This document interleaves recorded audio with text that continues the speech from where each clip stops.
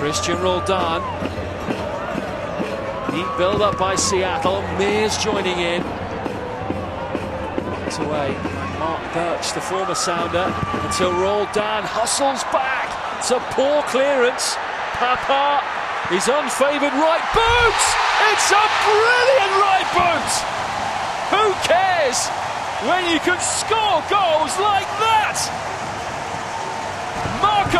Pappa's first of the season, and it was a howitzer. Ross, it's so important to capitalize on multiple mistakes. First, Dillon Powers caught in possession. Then it's Jared Watts with a terrible clearance. Then it's Harrington allowing Pappa to come back in on his right foot. It's just a combination of errors by Colorado defensively and the Sounders punishing them.